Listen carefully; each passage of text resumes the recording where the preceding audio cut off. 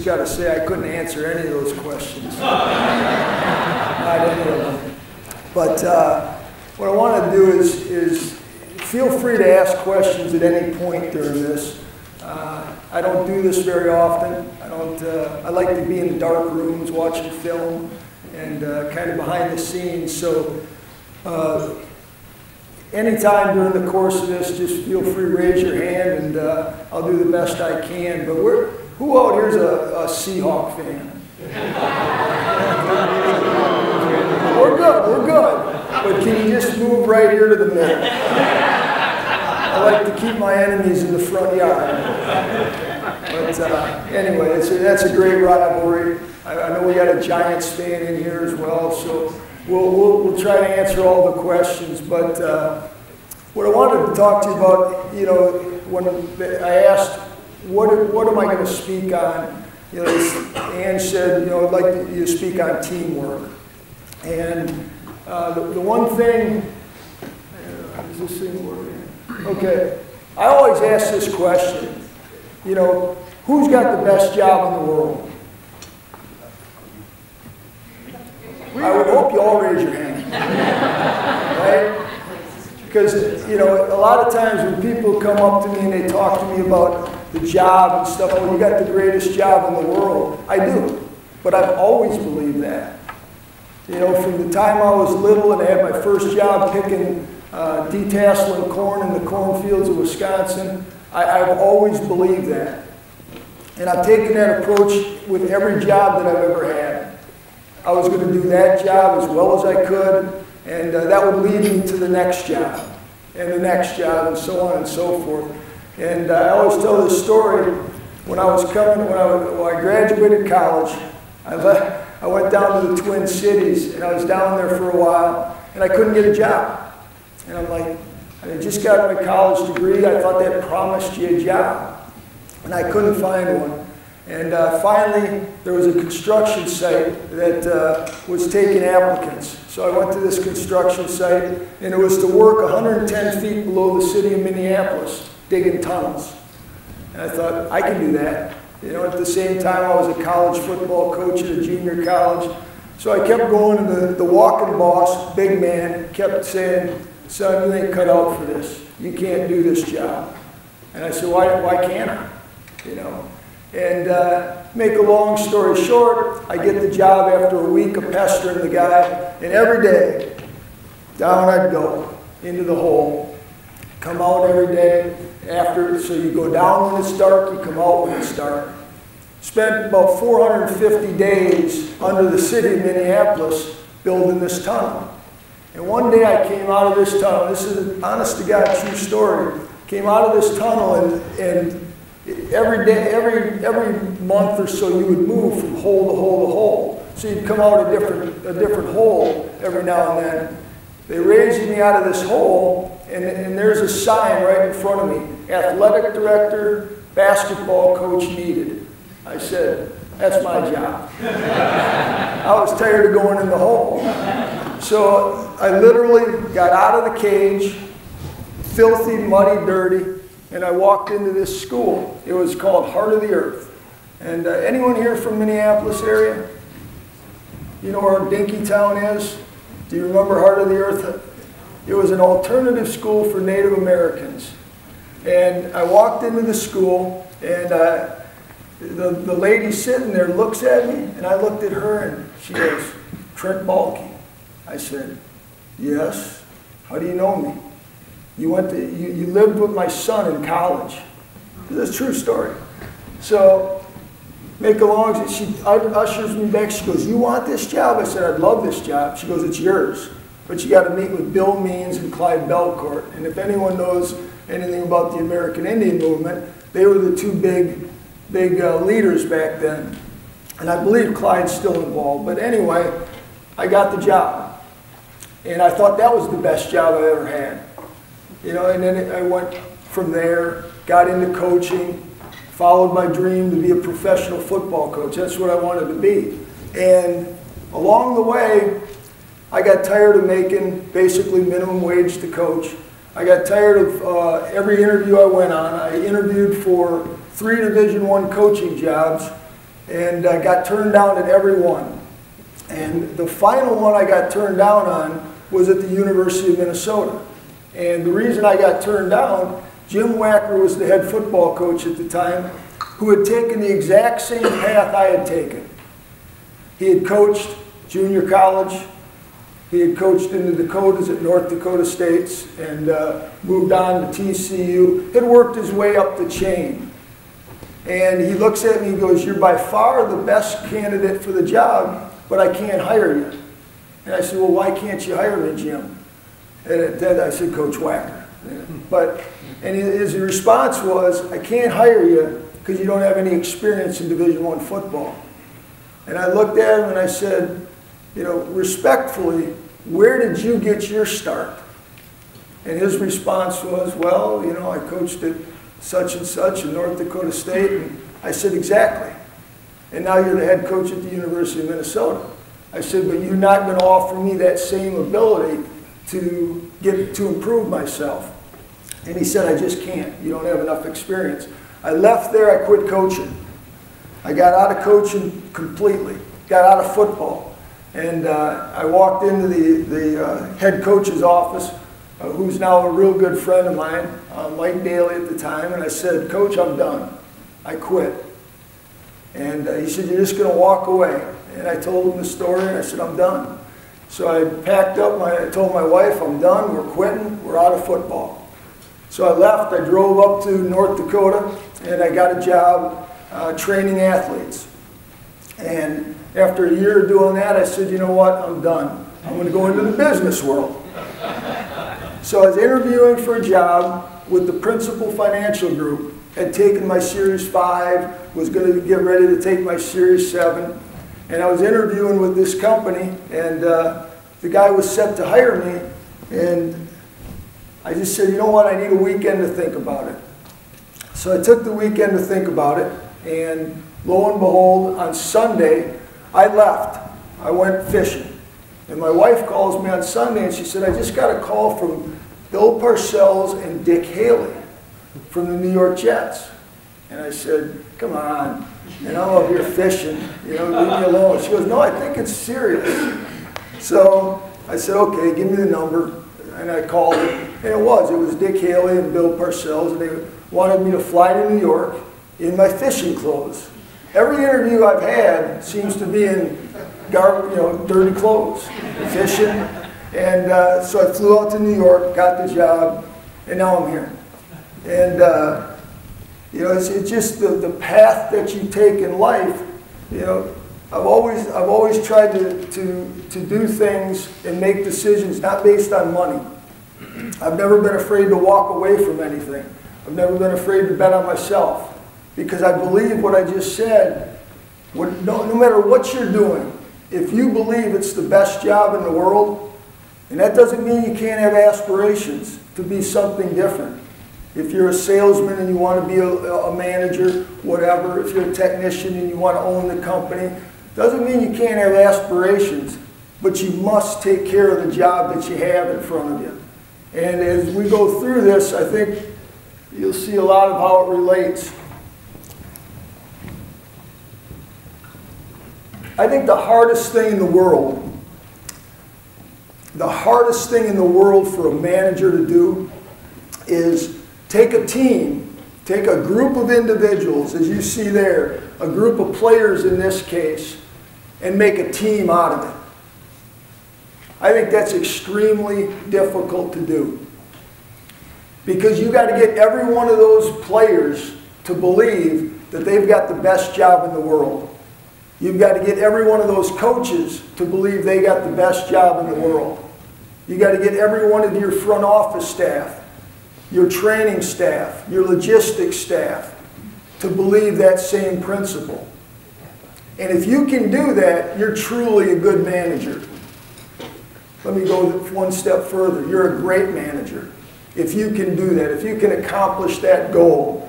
Because taking, especially when you're in the business that we're in with so many type A personalities, probably no different than the world you live in. You know, I'm, I'm looking forward to retirement because I'm going to move to somewhere where there's no type A personalities except me.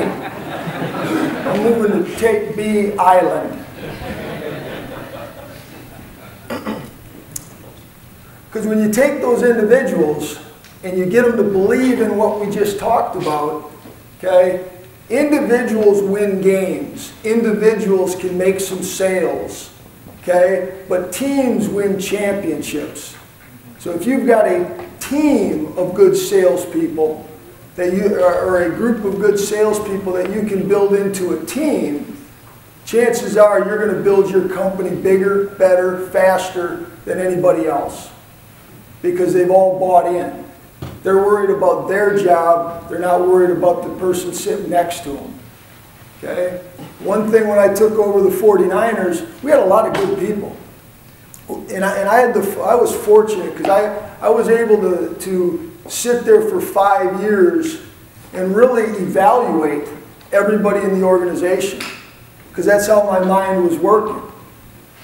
You know, are these people, if I were to get a job as a general manager, never thinking I was going to end up with the 49ers, but if I were to get a job as a general manager, would I want that individual with me? And that's something that I think you can still do your job extremely well and have aspirations, but still stay focused on the job that you have. But if you want to win championships, and the 49ers have been very successful in doing so, uh, not as of late, we're getting there. We're getting there. It's a process. Uh, see, I go to bed at night and I think, third down, or I, I go to bed at night, I, this, I wake up, and, and a friend of mine, Ted Thompson, who was with the Green Bay Packers, said after I lost, after we lost the Super Bowl, he said, you know what, that'll never go away. And know, I wish he was wrong, but he's right. It never goes away. You wake up thinking about it, you go to bed thinking about it. I honestly don't believe there's a day that goes by that I don't think about it. Uh, but we're going to get there. So when you, when you look at the essentials to building a winning culture, and this is nothing new to anybody in this room. You know, the old cliches, I'm not a big cliche guy, I don't believe in that. I don't believe in canned speeches or anything like that. I believe in speaking from the heart. But when you look at uh, the essentials to having it, respect is number one. You know, and I think through it all the time, respect, you know, so many people in this world want to be liked. I could care less if I'm liked. I care a whole hell of a lot more if I'm respected for the job that I do, uh, for the type of man that I am, for the type of father that I think I've become. I would much rather be respected in life than liked. I don't need to drink beer with people, you know, and tell, you know, all the old stories, because that doesn't matter. What matters to me is that people respect how you come to work every day, how you treat others. And you got to have a culture of that. If you're only, if, everyone in your organization only believes in themselves and only really cares about themselves, it, you, you may have some victories, but you're not going to build championships. You just can't. Trust, loyalty, you know, when you're, especially when you're dealing with type A personalities, you have to be able to develop that. Whether it's for me with a player, with a coach, with the owner, you got to be able to speak freely. You got to trust one another. You know, accountability. Do you trust the guy next to you that, to do his or her job and do it well? You know, and then energy. Come to work every day with a positive energy. You know, our coach talks about an enthusiasm unknown to mankind. Well, I don't know about that, okay? But I know when I come to work, I mean, I get in that car in the morning, my mind's already going. Okay, what do we got to get done today? You know, and if you come into the building and your, and your energy isn't there, you can't expect everybody else's to be there. It just doesn't happen that way. They feed off of you. What's the worst thing that I can do when we lose a football game? Come into my office and close the door behind me and not come out of it till the end of the day. I'd love to do it. I'd love to bury my head in the sand and not come out for a week till the next game. But you can't do that because everybody's looking to you for leadership.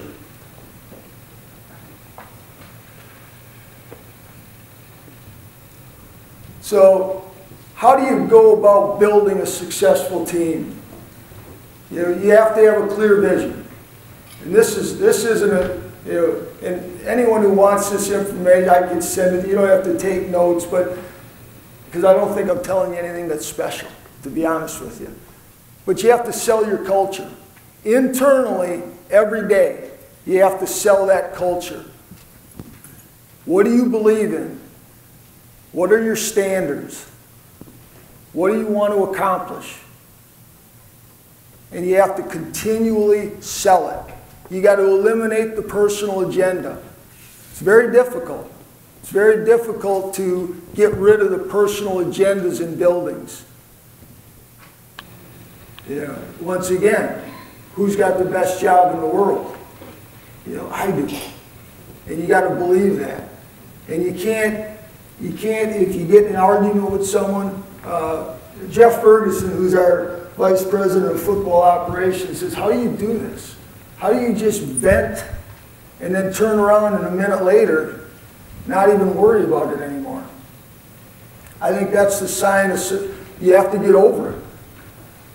And you have to let the people underneath you know that if, if, if you and I disagree, and I want it done a certain way, that's okay.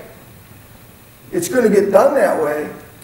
And if you do something wrong, if you screw up, you know, you vent, you get it over with, you let them know, him or her know it's not going to happen again, and, and, and you set the record straight, but then you move on. Some people can't get over it. They get mad at somebody, and then they just stay mad. And it, it doesn't do anything for the culture of the building. I think this is a big one that people in leadership positions really have a hard time getting established in their, in their business. Define roles. Everybody in your organization must know what their role is. They must know what their responsibility is and they must be held accountable for it. If they're not, it's what I get, just went back from. It's you're worried more about her job than, and she's more worried about your job, and so on and so forth. You have to define the roles and hold them accountable. And, and when they step out of that role and they start worrying about somebody else's job, and this is one thing that was, was prevalent with the 49ers four years ago. If you went to somebody and you said, why did we do this? Their answer, what they didn't answer the why to the question. They said, well, so-and-so is doing this. They didn't ask them about so-and-so. Could care less about so-and-so. Wanted to know why you aren't doing it the way you're supposed to be doing it. You want to go into a, a building of failure? I can walk into a building, and I, and I know many of you can as well, and you can tell when you're in a successful building and when you're not by just how many doors are open. You go into a building, eh, uh, and I've been on a lot of bad teams, trust me. A lot of bad teams, too many. Okay? But you go into those buildings, coaches' doors are shut, scouts' doors are shut, and they're all on the phone.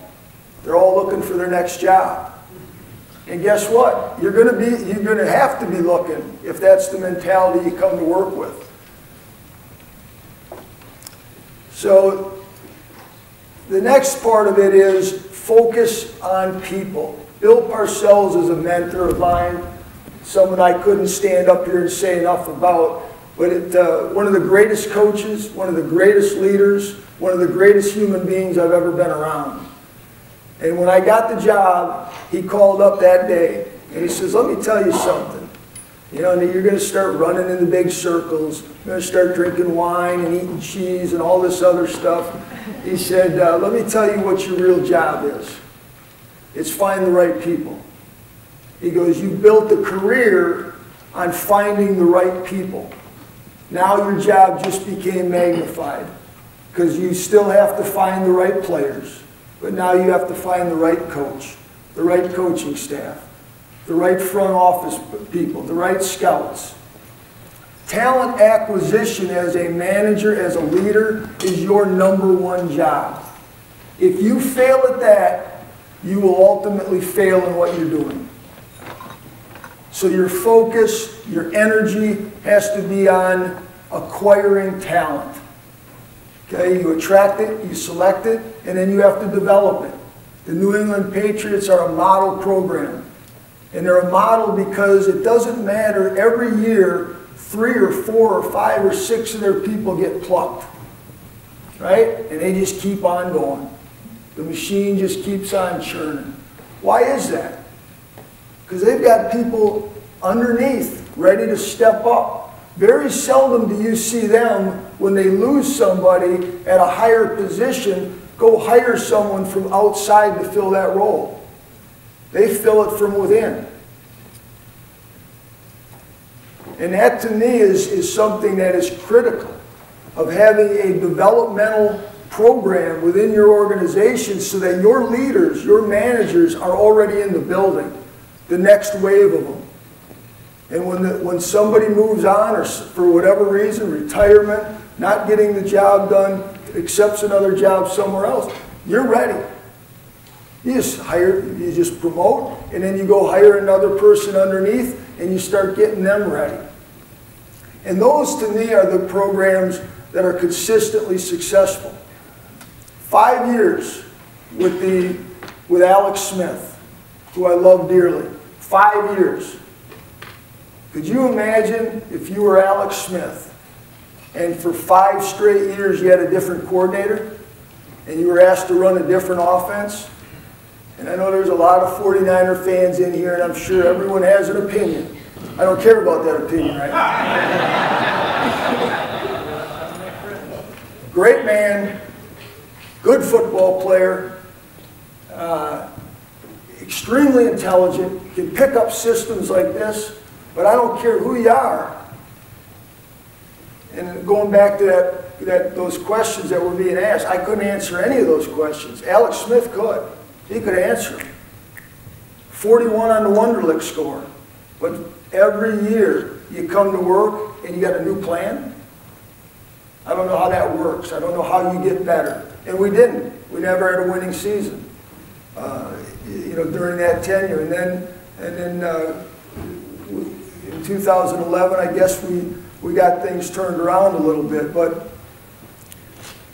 it all comes down to developing them, getting them ready to go, you know, and then assessing them on a daily basis, a weekly basis, an annual basis, quarterly, however you do it.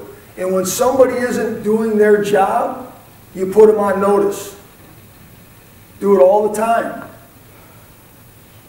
There's no lifetime guaranteed contracts if you're the video director or you do the laundry. But yet, one thing you'll see when you go to the 49ers organization, I don't care if you're sweeping the floors or playing or coaching or general manager, okay? Everyone gets treated the same with respect. And when we see that somebody isn't doing that, they're not treating someone with respect, we handle it and we handle it quickly. One, one analogy I always use when you go to a good restaurant or any restaurant, um, how do you know? Let me, let me phrase it like this Who's the most important person in a restaurant? The customer. Good. Some people would say that. I, I don't disagree. Who else outside of the customer? You're going to a good restaurant, what do you want? Service. The chef, right? Good food. Okay? I hope I'm getting there with you. Okay? I think the most important person could be the person that cleans those bathrooms. Because I've gone to restaurants, and some of you will think about this. I've gone to restaurants, I've had great steak, I've had great wine, you know, like Coach said, wine and cheese. Yeah, I, I partake in it. I've had, I've had great food.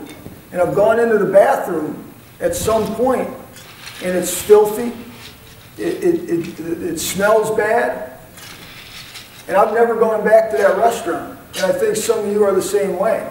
So who's the most important person in that restaurant? The guy cleaning the toilet. You know, and we laugh, but there's some truth to that. So never underestimate your role. Never underestimate the people in your organization, the roles that they have. And never settle for expectations lower for anybody. If they're the janitor, do their job. Right? If you're the top salesperson, do your job. That's what you're paid to do. So, my eyes are so bad I can't even read this thing. That's how long I've spent in the dark room. Uh, in your hiring process, okay, if you're going to make exceptions, and this is a Bill Parcells thing here, okay, Bill didn't like exceptions. If you were a 5'9 linebacker, good luck off the board. We're not talking about him. Okay? If you were if you ran 4-8 and you were a safety off the board. Because if you start making exceptions, his belief is by the end of the day, by the end of the year, by the end of the, the, your tenure, you're going to have a team full of exceptions. And you can't win with a team full of exceptions. So when he got off the bus with his team, he wanted them to look a certain way. Same in business.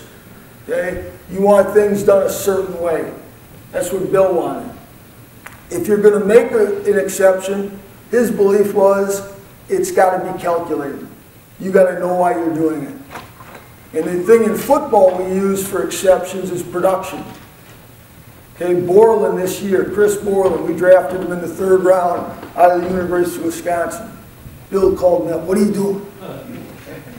He's four, he runs 4'8". I know, I know. He's got 29 inch arms. I know, I know. He's 5 foot 11. I know, I know. He doesn't meet any of the standards. I know, Bill.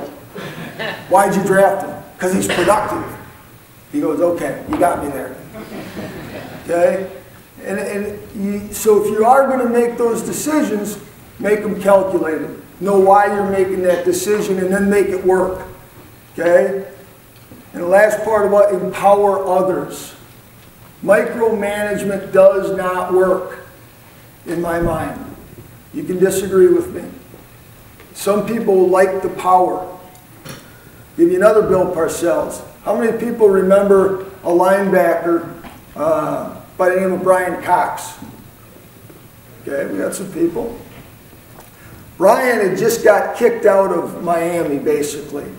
You know, in a, you know, he, he, he went off the reservation, so to speak. Uh, couldn't control uncoachable. Nobody wanted him. Bill Parcells wanted him. And I'm just sitting back, and at that time, young in the business, scout, I'm like, why is he doing this? Why would he want this guy? We don't need this guy. But Bill thought, and he had a plan. So he brings Brian Cox in, and Brian Cox is a model citizen for the New York Jets.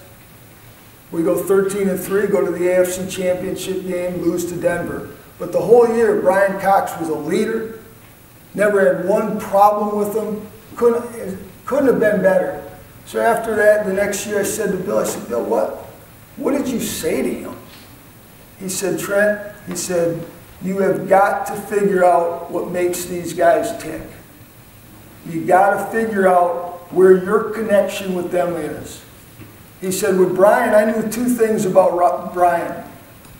Brian loves football. I love football. Brian loves horses. I love horses. He said, so I knew I had a connection with him. I knew I could get to him. I said, okay, that's, where is this going? he goes, so I brought him into my office and I said, Brian, we both love football. Yeah, coach, we both love football. He goes, yeah, we both love horses. He says, yeah, I love horses, coach. I love to go to the track. He goes, well, so do I. And he goes, in all your times at the track, how many, time, how many times have you seen more than one jockey on a horse? Brian goes, never. Okay? He says, how many times have you seen a jockey with more than one whip in his hand? He says, never. He says, we're getting somewhere with you, Brian. he says, I am the jockey, and I have the whip. Okay? Now here's what I'm going to do for you. I'm going to give you this whip every now and then. And I'm going to let you know when you got it. And you can keep it until I tell you it's back in my hand. So that's how he went through practice. He'd go up to Brian and say, Brian, you got the whip today. Brian would take it and run with it because he knew what that meant. Go lead. Go lead the way you lead. Go push. You know, because Brian was a pusher. Brian was intense. He practiced how he played the game. And then when, when Bill saw him going over the edge, he'd go up and say, give me the whip back, give me the whip back. And that's how he managed Brian Cox. And if you think about it, I think as a manager, as a leader, you got that same scenario taking place in your own organization, and at times you got to let them have the whip. And then you have to also know when to pull it back. But, uh, and this goes along with micromanagement. You know, visionaries, specialization, we always talk about that as a manager. If you look at all the things, uh, and I don't know if you can see, because I can't see it, but all, but all of those categories underneath that first line, those are all departments that I'm responsible for. The PR department, the logistics department, the coaching staffs, the player personnel evaluation, all of that falls under my umbrella. I am not an expert in hardly any of it. If I had to say where I do have the most background, it would be on the personnel side. Logistics, I just want the bus to show up on time. Okay, I don't know how to get it there, but I know I want it there. Okay? But as a manager, sometimes we think we have all the answers regardless of whatever we're talking about, whatever division we're talking with. So I look at it like this. My job is to have a breadth of knowledge. Know a little bit about everything. But more importantly, know what we want from every department. And then it's up to me to hire, go back to acquisition of talent, the people that can get the bus there on time, the people that can make me look halfway intelligent in the media, which is awfully hard to do. Okay? Because I really, are there any media members in here? You with the camera,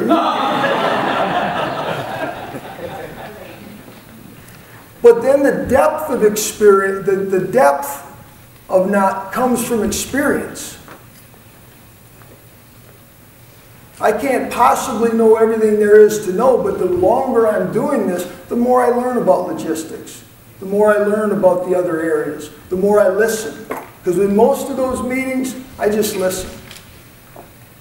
Because I couldn't honestly answer a lot of the questions, just like I couldn't earlier. So you got to listen, you empower your people, you hire the right people, and you let them do their job. I strongly believe in that. Have the vision of what you want and let them specialize in the areas that they specialize in. And the last part of it is eh, the last question that Angie posted uh, you know, for me to answer is you know, dealing with diverse personalities in a type A, highly competitive environment. How do you do that? Two words, not easy. Right? It's not. There's nothing I can tell you that's magical in dealing with, with, with uh, a coach like Coach Harbaugh or, or, or certain players. But there are some things you can do, okay, that will allow you to have a much better chance for success. Number one, check your ego at the door. You have to check your ego at the door. Because the worst thing you can do is for two type A personalities to bring their ego into the room and then all you get is a back and forth. That's rarely productive. So somebody has to check their ego at the door. And if you're the leader, oftentimes it has to be you. Because if you don't, it's going to be counterproductive. That, that autocratic mentality doesn't always work. In fact, rarely works with a type A personality. If you back a type A into the corner, they're going to come out fighting. Right? That's, that's how they're wired. So you gotta, you gotta outsmart them. Okay, you gotta outmaneuver them. Deflect credit. It, it, it, doesn't matter if you're successful, if your team is winning, if you're successful, who cares who's the reason for it? Why is it so hard to take a successful team and go back and do it again? Because everybody, when you win, wants to be the reason why you win. And when you lose, nobody wants to be the reason. So when you're winning, everybody wants more money. They want more attention. And when you lose, the bunkers, they close the doors, they hide. All right? A good leader in tough times is the one that doesn't close the door. That gets out front and says, this is what we need to do, this is how we're going to get it corrected. So deflect blame, all right?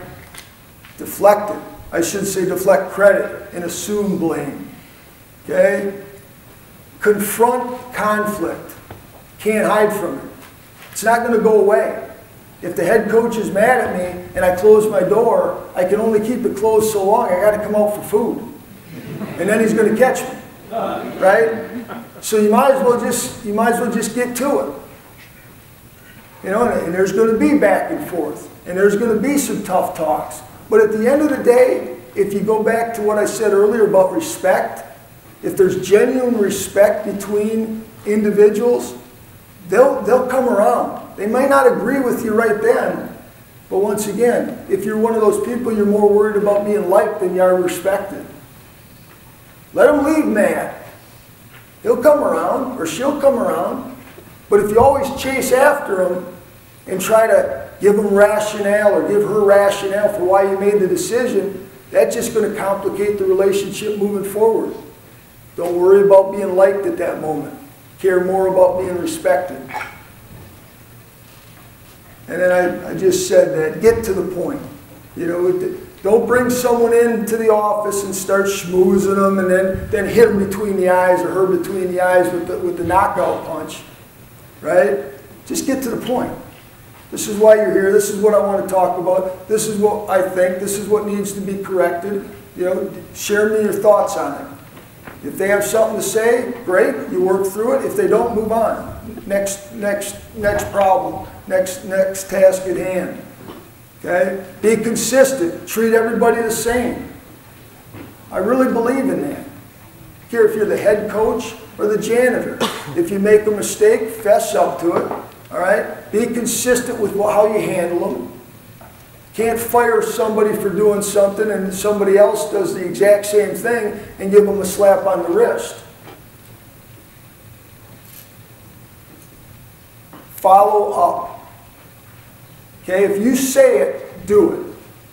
I've been around too many people that they say stuff, they never do it. Okay? They, they want you to leave happy, but then they never get down to doing it, and vice versa. And then the last thing is understand precedent. Every decision that we make as a leader sets precedent. If you're a 49er fan right now, you, you know that Alex Boone is in a holdout. Okay? When you're dealing with contracts, everything you do sets a precedent. And when you're talking about type A personalities, what do type A personalities want? More. Whatever everybody else has, they want it. Okay? So if you break a precedent in your belief, and you negotiate with Alex Boone differently than you negotiated with NaVorro Bowman, Pat Willis, or any of these other people that you've done contracts with, guess who's knocking on your door? NaVorro, Pat, and all of them.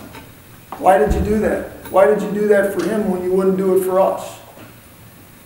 So there's some principles at stake every time you make a decision. And don't, don't be blinded when you make decisions and think, well, nobody will catch that. Nobody will catch that I did that for this, because they do.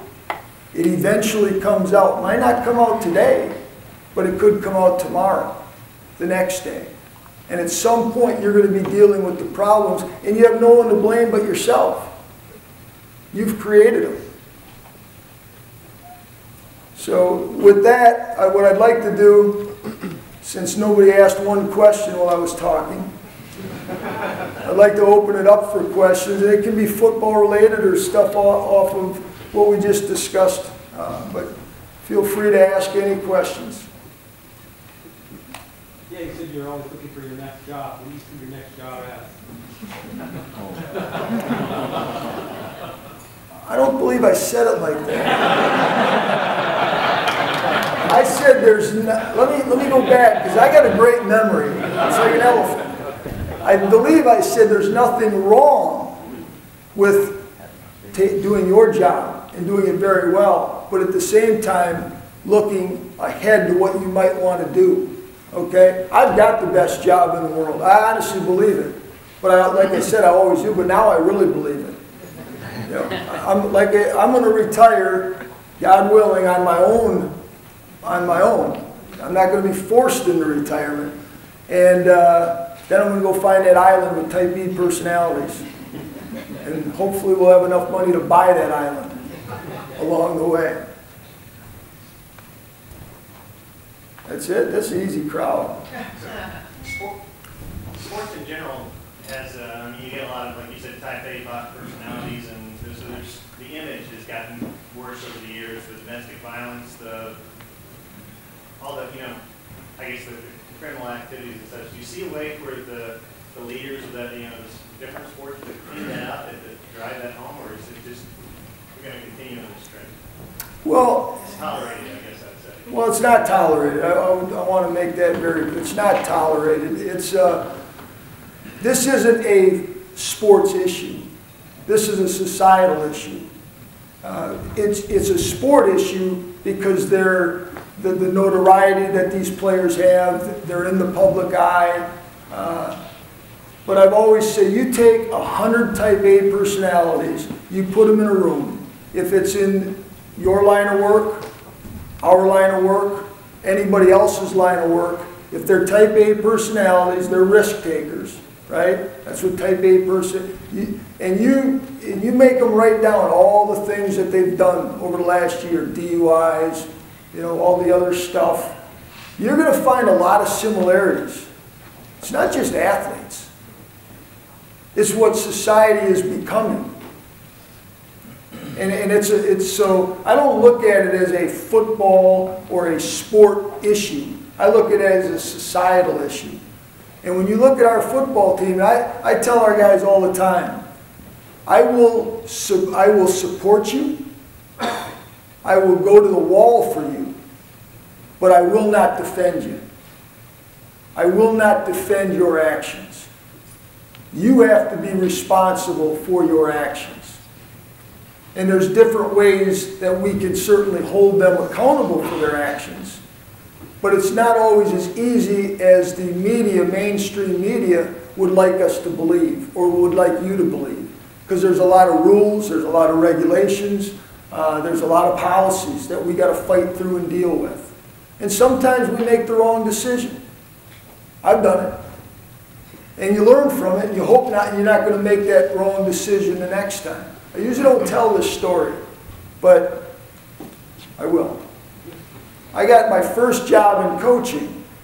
I got in uh, 1990, my first legitimate full coaching job at South Dakota State University. One month later, I got a DUI. So I'm sitting in there. My wife's, you know, uh, pregnant with our first child, and uh, I'm in, I'm in the, the, the, the cell and you get one call, right? Who do you call? Call my, call my wife? No, no way. Not doing that. So I called my coach, the head coach, Mike Daly. And I said, Coach, got a problem here. He said, What's the problem? I said, Well, I just did something I shouldn't have done. Drive, got a DUI. Huh, DUI? He says, let me tell you about the time I got mine. True story. And right away there was relief because I knew I wasn't going to get fired. Right? So I learned a lot from that experience. A, don't drink and drive, okay? But B, have compassion. So it's easy to say what people should do, but if he would have fired me right then, I may never gotten a job again in the coaching world, right? And I certainly wouldn't be standing here. And the exact same reason I flew him to Baltimore or to New Orleans for the Super Bowl, him and his family. So when you're dealing with these guys, this is a long-winded answer to your question, but I really believe, you know, and I, I want to get this message out there. These are not bad guys. If they were bad guys, they wouldn't be a part of the San Francisco 49er organization. But when I look across from Aldon Smith or, or any of these other guys that have gotten themselves in a little bit of trouble, I see good men. But they're only going to become great men if somebody helps them. Somebody helps them along the way. You know, but if every time somebody screws up in your organization, you open the door and throw them out, okay? People aren't going to look at you as a leader. They're not going to look at you as a leader. Trust me. But if you stand up for them, not defend them, you stand up for them and try to teach them the right way to do it, they'll get it eventually. And if they don't, and they just continue to make those mistakes, then you got to do what you have to do. Calculated exceptions. You mentioned this from Aldon Smith. If, uh, instead of Aldon Smith, if there's somebody on your practice squad or, or you know, the, the, the third or fourth depth safety, and some of the things that happen, is there a, calc- I'm not looking for you to go in great detail, but is there a calculated exception when somebody has incredible talent where you tend to go farther? Because that happens in day-to-day business as well. Somebody's late, for example, all the time, right, they're most talented, whatever, and so is that a or is that uh, setting precedent? How do you deal with that, how do you see it? It's a very fair question.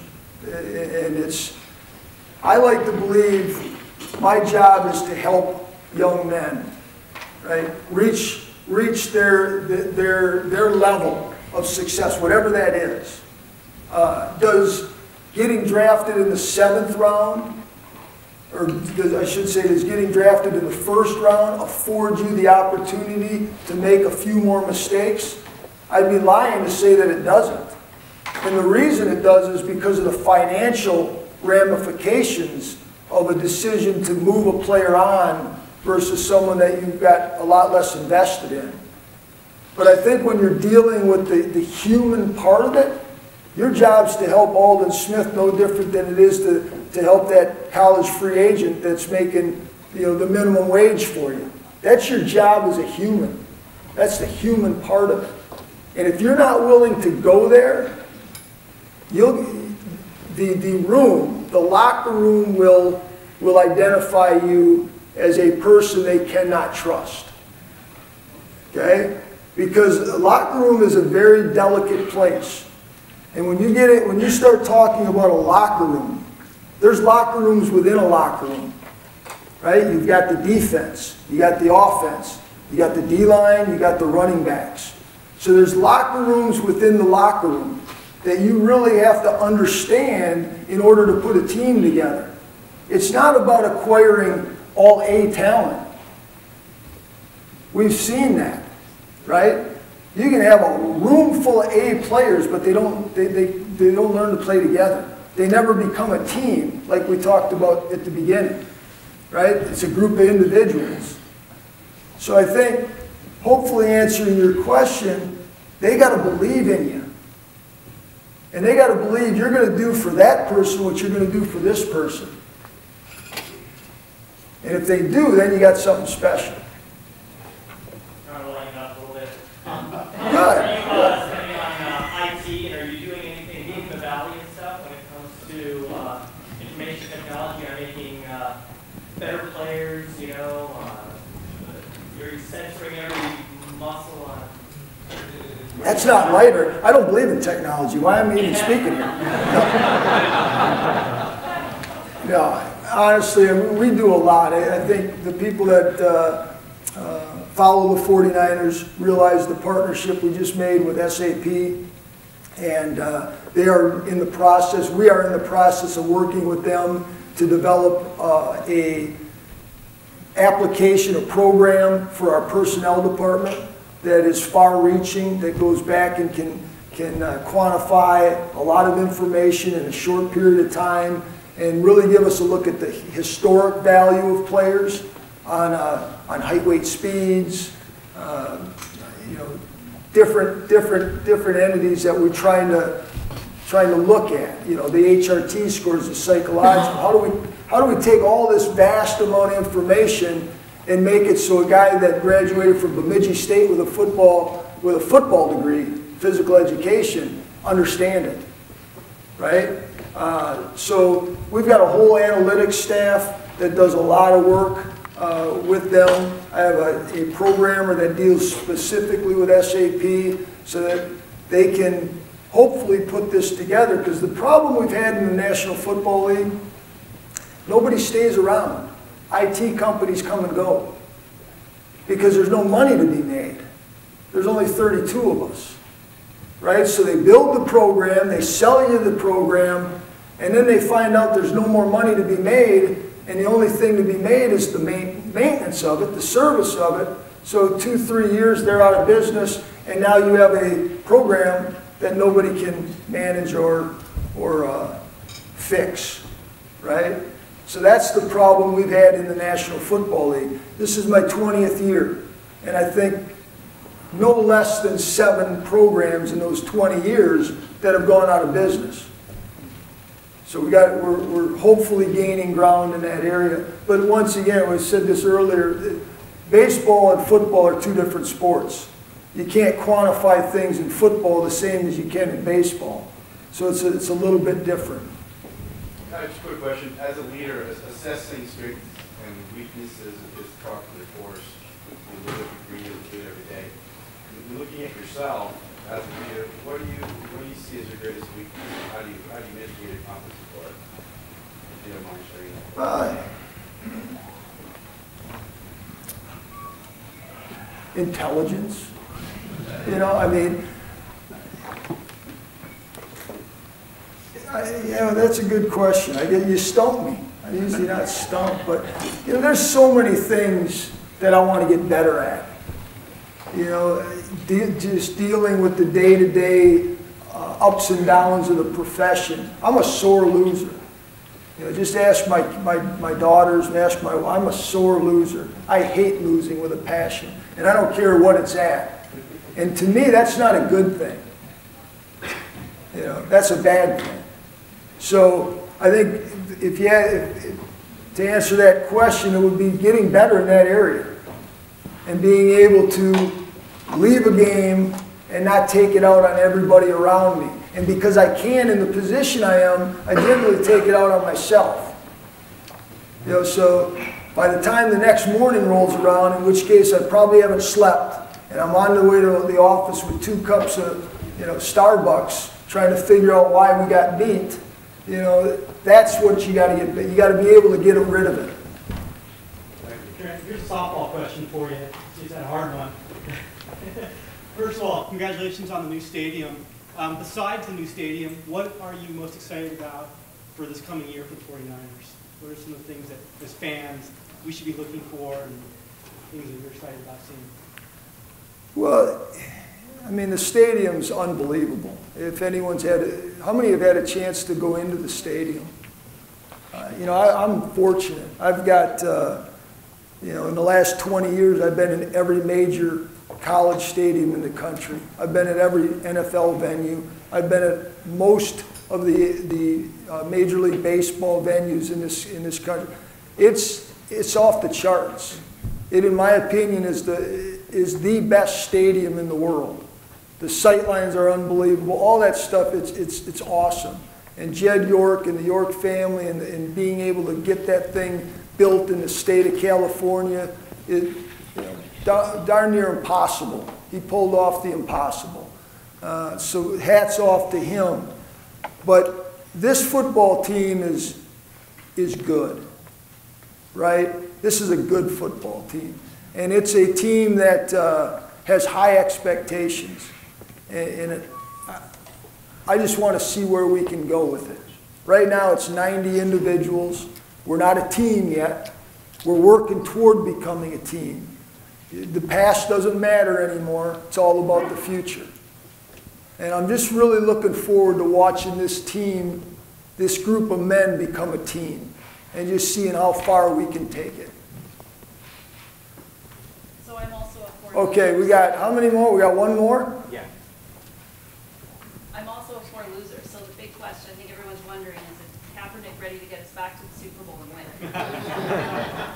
Yeah, just because Colin's signed a new contract doesn't mean the whole thing rides on his shoulders. You know, when Joe Montana won Super Bowls, he didn't win it one on 22. You know, Colin's an awfully gifted football player, uh, but once again, I go back. You don't win with individuals. You win with teams. If you want to win a championship in the NFL, and I'll, I'll say this in front of any general manager in any sport, there is nothing more difficult than to win a Super Bowl. There just isn't. Because the playing field is level, and every team has to play within the same rules. Baseball, you got teams that have, are spending six, seven X more than the, the next team. And then yet you got teams like Oakland that even though they're spending five, six, seven X, they're still able to field a, a winning foot, a winning team. But in football, every year, every year, you got to perform. And every game you have to perform because you only get 16 games.